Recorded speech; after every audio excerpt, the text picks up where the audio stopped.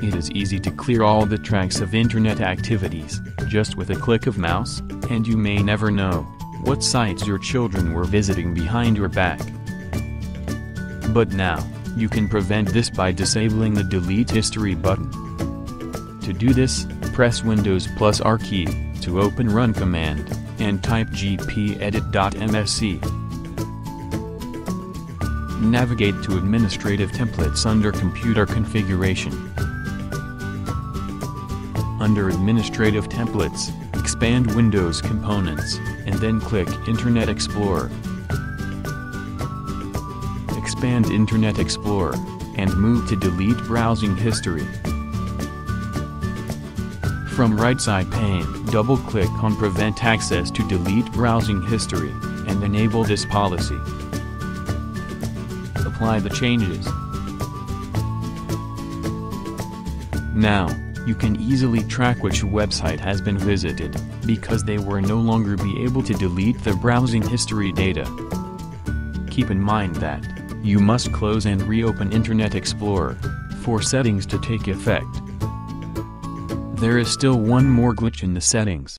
If you access History bar, from View menu, you can see that, the users are still able to delete a particular site from the history list.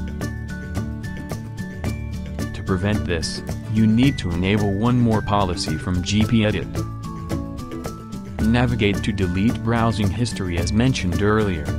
Double-click on Disable Configure History, and enable this policy as well.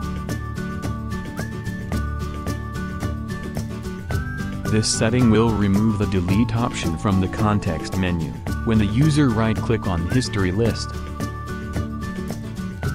But if your children are smart enough, then they can use in private browsing option from tools menu, and you may never know what sites they had visited, because in private browsing data will not be included in the history.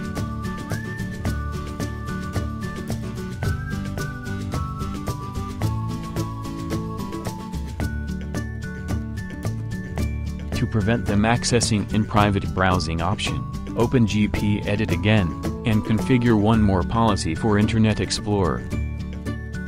Under Internet Explorer settings, click on Privacy, double-click on Turn off in private browsing, and enable this policy as well.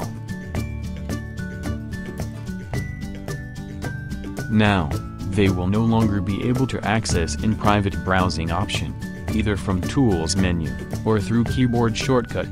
Hope you will like this video. Keep liking, commenting and sharing our videos.